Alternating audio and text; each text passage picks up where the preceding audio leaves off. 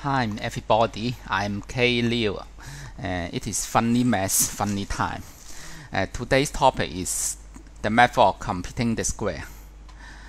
Let let us start the, uh, the this funny math. Okay.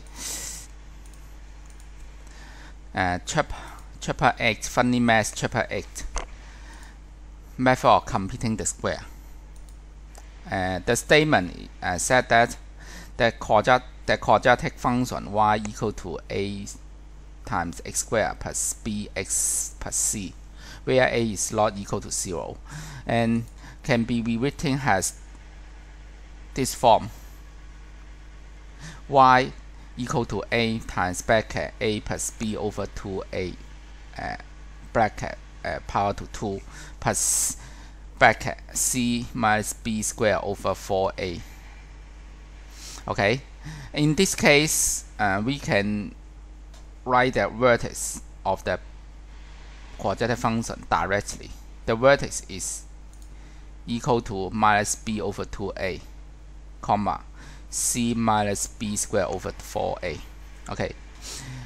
Let us start the proof. Uh, for the quadratic function y equal to ax squared plus bx plus c we can first factorize a and then th this format can be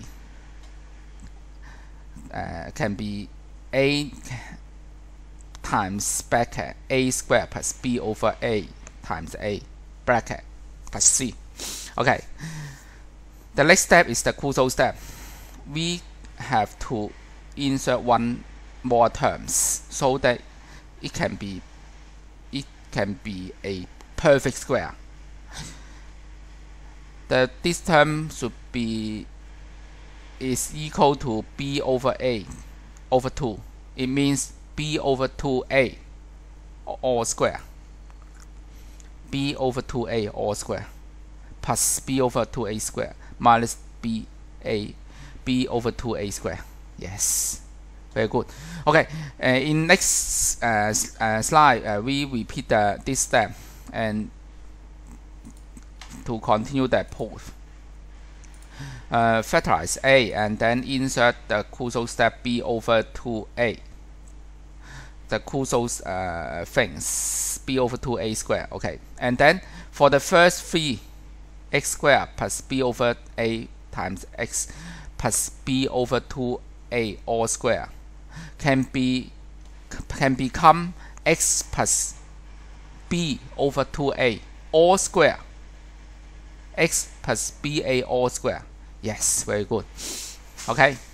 And b over 2a square is uh, minus b over 2a all square uh, keep here. And the next step is uh, multiply a into this term and also this term okay keep this term and for this b over 2a square it means b square. The numerator is uh, uh, uh, numerator is b square.